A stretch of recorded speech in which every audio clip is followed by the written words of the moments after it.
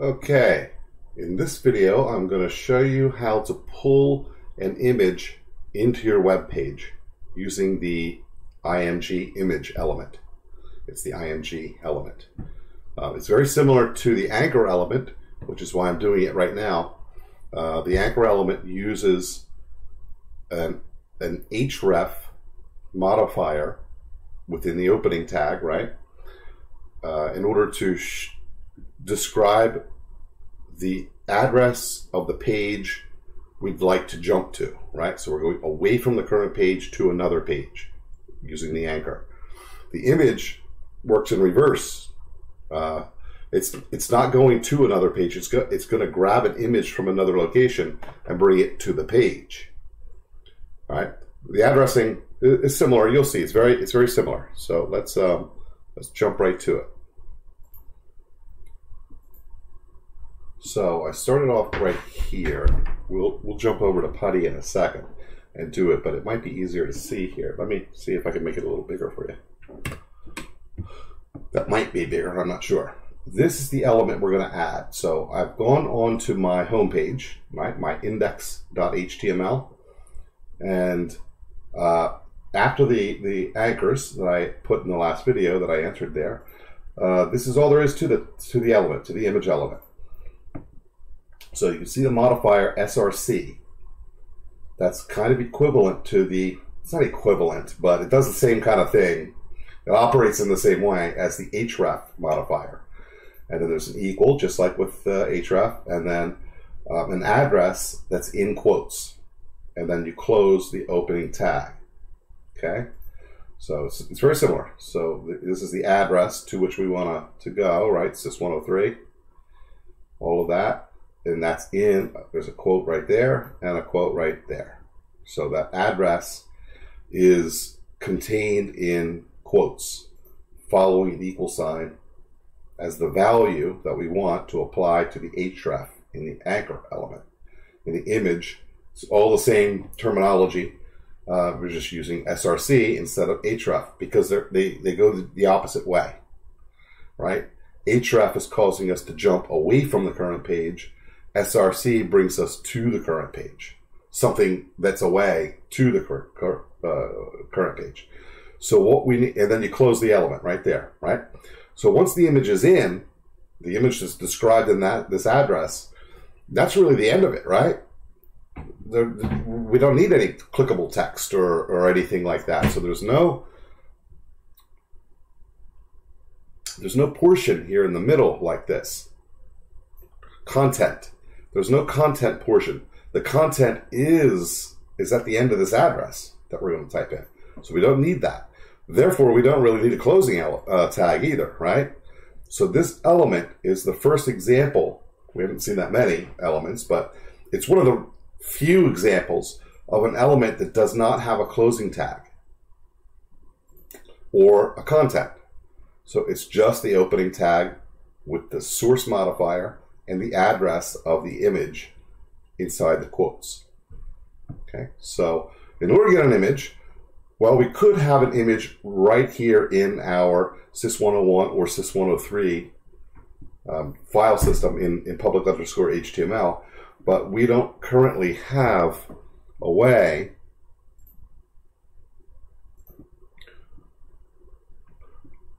we don't currently have a way to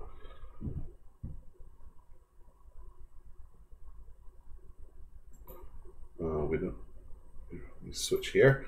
We don't currently have a know of a way uh, to to move files onto Copland from our local machine.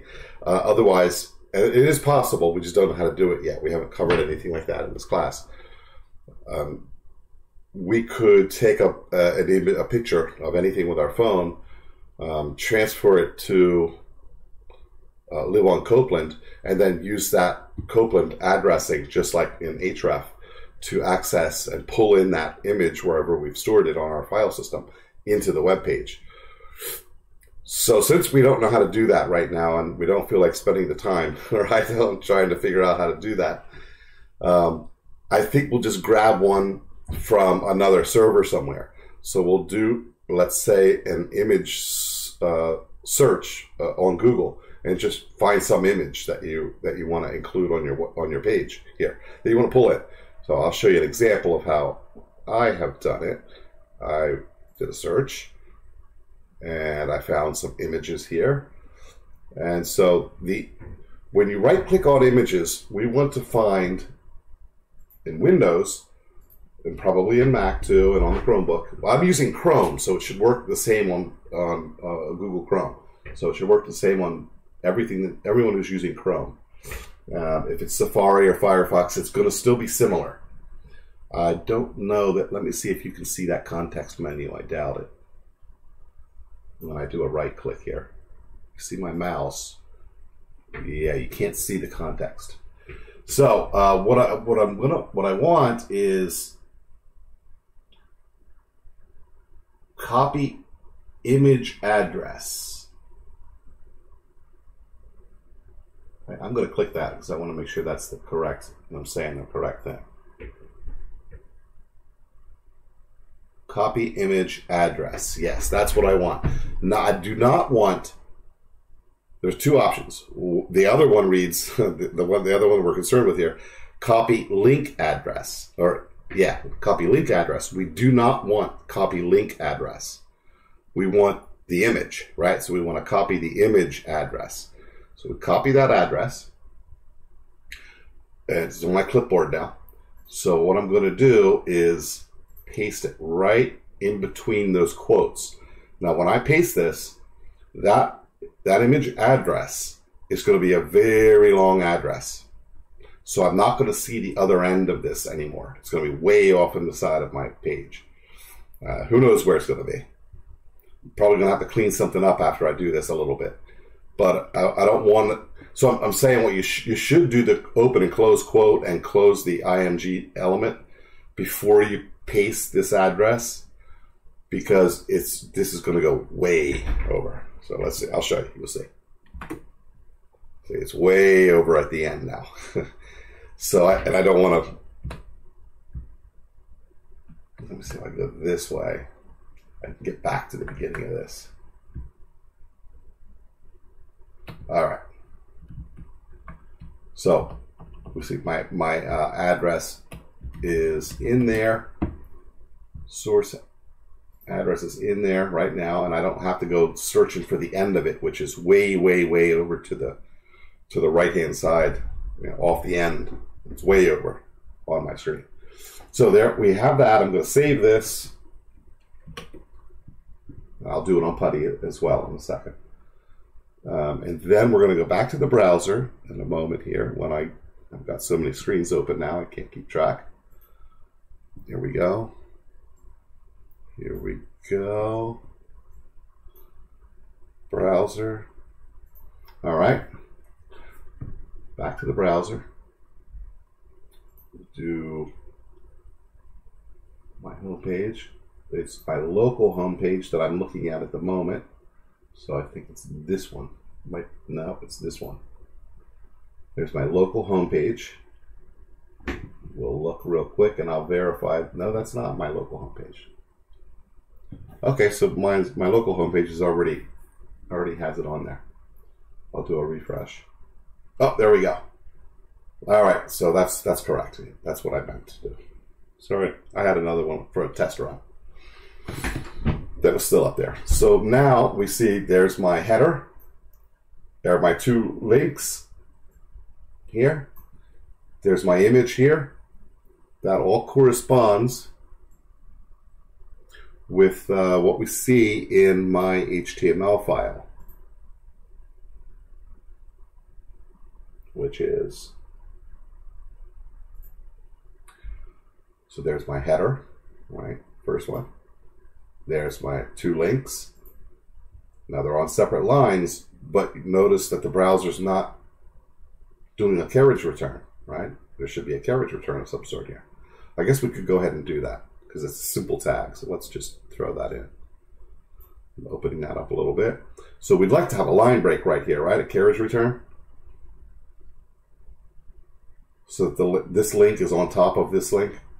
First one's on top of the other instead of being beside one another. So I'll fix that with a BR. So it'll give me a carriage return from that BR that I just put in there. Can you see it? Yeah, in case you can't see it, let's do this real quick. I don't know if that helps or not. So let's save that again. And I'll do another refresh. We'll come back to the browser.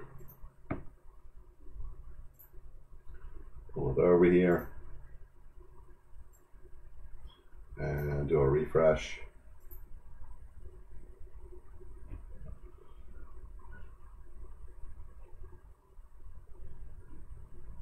Um, not sure what happened to it. Is it all the way at the bottom of the page now? It is. So I'm going to have to toy with this. And it's not really what I wanted to talk about today or in this video. We can do it next. I'm not sure why that happened like that. But we'll look into it. Whatever. You can see that it's not beside each other anymore. So why it went all the way to the bottom, um, a little unsure. Should have been this second. But don't worry about that. This video is not about BR. So let me get this out of the way. And we'll jump over to Putty here real quick. All right, and so there are my two links. You see one there and one there. On my index, you see up here, this is my index. This is on Copland, right? We've got Putty open already, but uh, guess you can see it way up here, maybe.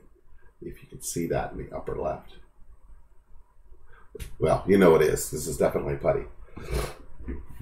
All right, I want to put this image above body, so I'm just going to hit enter right here. And I'll scroll on over so I can get it in line with the way things are. And we'll just enter.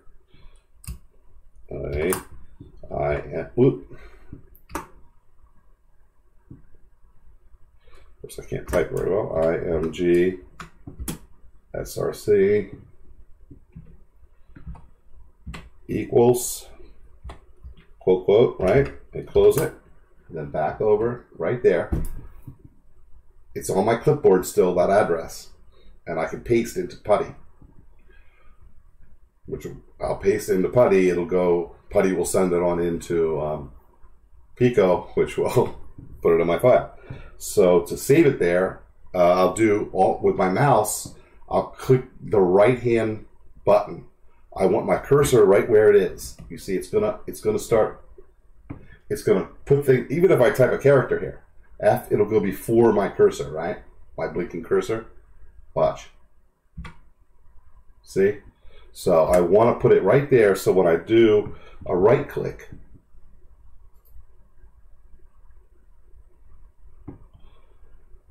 well, that wasn't right. Okay, so we will just do that again. Put it right there, line it up, do a right click, and there it is. Now it's going across several lines of here, and it is ugly like this. I don't really want to see how long it is. I don't really want to leave it like that because it just it makes a it's a mess. So I just came in front, right on the S, and I'm going to do a backspace, bring it up. So now it's just, it runs way far to the right like the other one did. Do a control O. Get this on disk. We'll go back to the browser.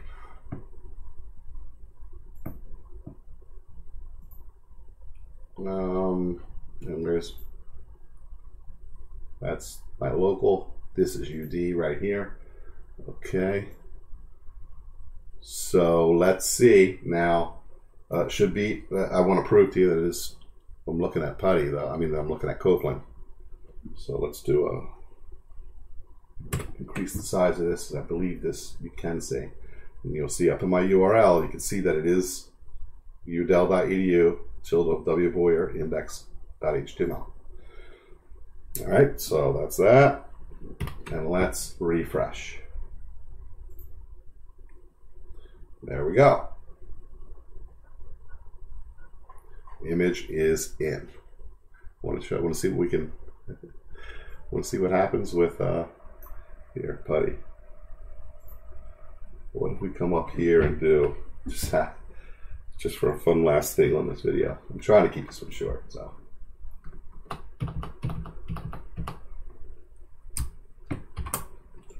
are there. I just want to see if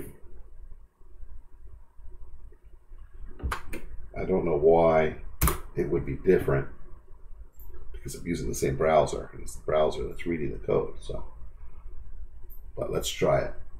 Uh, refresh this. As expected. Now, why did the other one not do it the way I expected? I, I don't know, but that's what I would expect to see happen. So now my one in there's a line break right here, right? You can't see it. We go down. My links still work. Okay. So that is all there is to bringing in an image. You use any image you want. Um, but you just bring one in and put it on your index page from from some Google search. That will do it for this one.